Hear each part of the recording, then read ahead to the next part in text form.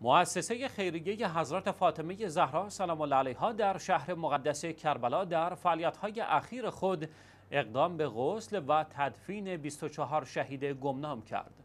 به گزارش پایگاه اطلاع رسانی دفتر آیت الله شیرازی به نقل از مسئولین این مؤسسه خیریه افراد مذکور از شهدای نیروهای مدافعت و مقدسات عراق الهشد شبی و کسانی بودند که هویتشان مشخص نشده است مؤسسه خیریه حضرت فاطمه زهرا سلام الله علیها همچنین به ارائه کمک های خیریه خود که شامل تأمین مواد غذایی و وسایل نقلیه برای نیروهای الهشد و شبی می شود ادامه می دهد.